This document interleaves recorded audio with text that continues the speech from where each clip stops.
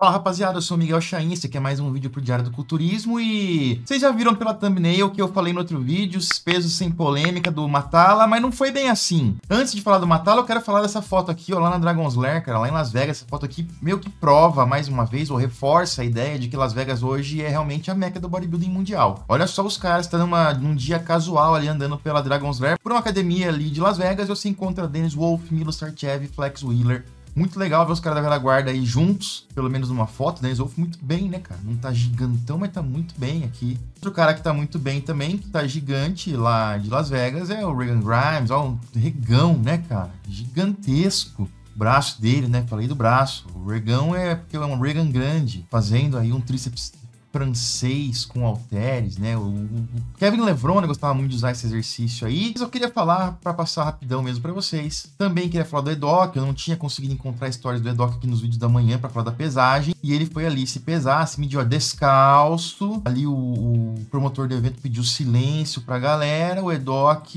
fez sua medição, cabelinho raspado, não precisa ficar metendo um cabelão, né? Nada disso ali para dar mais altura. Cara, Edoc, gosto muito do Edoc. Olha lá, se pesou então, EDOC, pesagem feita, peso batido também, garantido. Eu quero falar rapidamente para vocês aqui do Amino Powder 10 da Growth, aminoácidos essenciais, incluindo os BCA. Excelente opção para fazer aí shake intra-treino, para manter essa musculatura nutrida.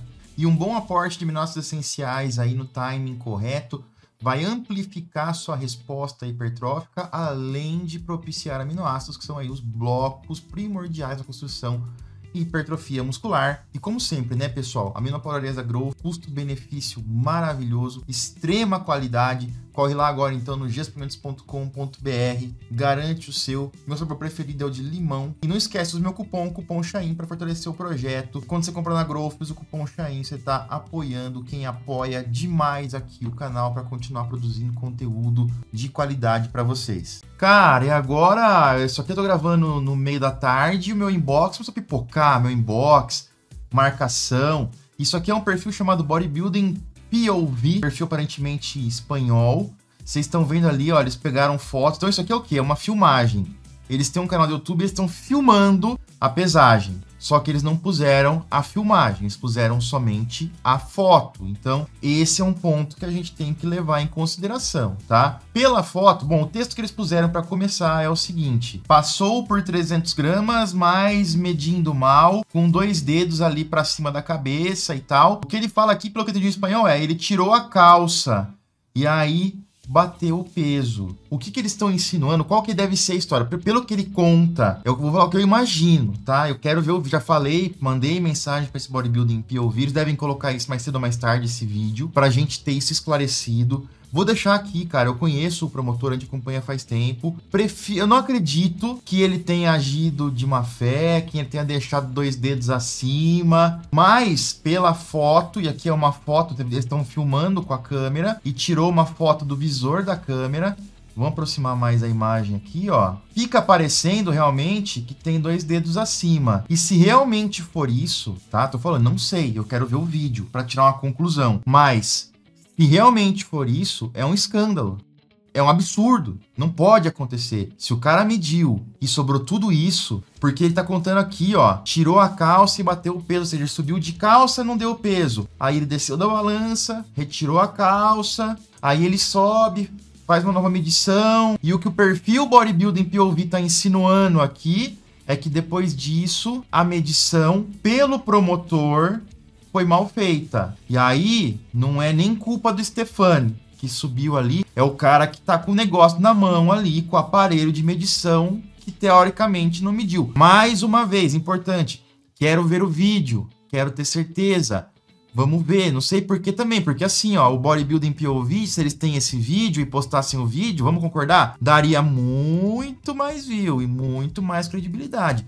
Pode ser que tenha sido um frame que ele pegou ali para causar uma polêmica, causar um zoom, zoom, zoom, e quando a gente for ver o vídeo, ele realmente tocou ali o medidor na cabeça e aí bola para frente, tudo certo, sem erro nenhum. Agora, se foi assim, sem encostar realmente, faltando dois dedos, é um absurdo, é um escândalo, tem que ser visto. E mais uma vez, não é culpa do Jim Manion, não é, é, é o promotor, se isso aconteceu, tem que realmente ter algum tipo de responsabilidade nisso. Vamos continuar aguardando. Como eu falei, puta, a gente pensou, né? Não vai ter polêmica nenhuma do, do Stefano Matala. Mas sempre tem, cara.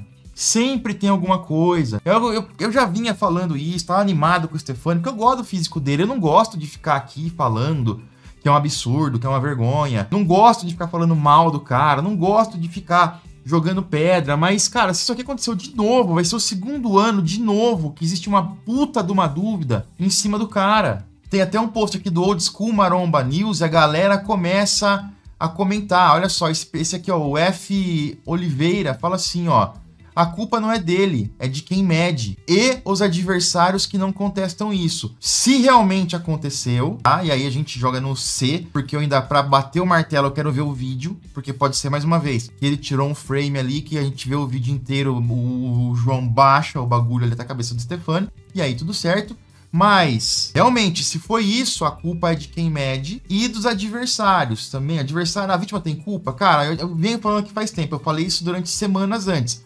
Quem for competir na Classic, coach, atleta, fica de olho na pesagem de Stefani, que já deu pau ano passado. Só não deu rolo porque o Stefan lá, o, o Bosa Botiló, foi lá e apontou. Um outro, um outro comentário fala que o Sr. Regis, de novo. E aí, se vencer e chegar no Olímpia, vai ser medido assim também. Todo show vai ficar dependendo dessa perição torta? Concordo, mas aí, cara, ele não vai pro Olímpia. Já não foi, ele não tem ido, porque ele sabe, assim como o Madoman. Lembra que o Madoman nunca ia pro Olímpia? Porque eles sabem que isso no Olímpia não acontece porque os Minion, lá vai ter os Minion, vai ter imprensa internacional, vai ter um monte de promotor, eles vão, eles sabem que lá não vai rolar. Por isso que eles não vão. Vai dar um problema no visto, vai dar um problema de saúde, vai ficar a mãe doente, sempre vai dar um problema assim pra esses caras aí. No... Cara, eu tô. Isso me, isso me deixa indignado. É aquele negócio, cara. Pode ser que a gente veja o vídeo e tá tudo certo. Mas é, já tem tão pouca regra nesse esporte, cara. Tem tão pouca coisa que o cara tem que fazer. O cara pode tomar bomba, o cara pode tomar a droga que quiser, o cara não tem antidoping, o cara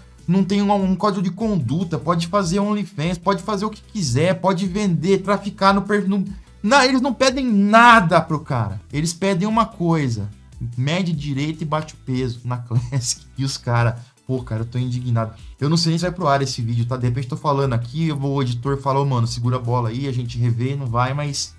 Cara, se isso se confirmar, realmente é uma tristeza. Uma tristeza certeza. Foi o Cariano e o Julião estão lá em Portugal também cobrindo as coisas. Encontraram com o Samuelzão. Ele, cara, esse cara aqui é old school também, um dos grandes nomes aí do nosso esporte. Acho que ele tá morando em Portugal agora, virou personal trainer lá e tudo. Já era personal aqui no Brasil, mas foi trabalhar em Portugal, pelo que eu entendi. E o Cariani e o Julião estão aí. Eles encontraram com o Atala e o Cariani foi falar com o Atala. Aí eles se encontram ali, não sei, foi antes da pesagem, eu não sei quando foi isso aí, não é mencionada a pesagem nem nada disso, é óbvio. Mas aí o Cariani fala do Dino francês, do apelido, é aquela coisa, pô, a gente já falou muito disso, né, cara? Começou a se chamar de Dino francês, recebeu aí um pouco de hate e tal. Aí o Valdemar, a gente fez uma live aqui, um DC Backstage eu, Valdemar Guimarães e o Stefano Matala e um coach do Matala na época, acho que era Felipe, e foi feita a tradução ali. Foi, cara, um, um, episódio muito legal do nosso DC Backstage, que teve episódios muito bons aí também. E ali o Valdemar Guimarães meteu a real para ele. Falou, cara, você seja você mesmo. Você não tem que ser Dino francês, você tem que ser você. Tem que fazer o seu nome, tem que fazer a sua estrada. E aí ele, ele adotou isso aí depois, falou, cara, eu tenho que ser eu mesmo. Sempre que pergunto disso, ele fala assim. Não teve nada, o Cariani não cobrou ele da pesagem, nem falou nada disso aí, mas vamos continuar acompanhando. Quero muita opinião de vocês sobre esse episódio. Assim que a gente encontrar esse vídeo completo da medição da pesagem, volto a falar. Torço muito, cara, tô torcendo demais para ser só um frame que os caras puseram para polemizar. Espero que seja pro bem do nosso esporte. Quero muita opinião de vocês. Comentem aí para mim. Vou ficando por aqui. Já já eu volto com mais vídeos, galera. Valeu.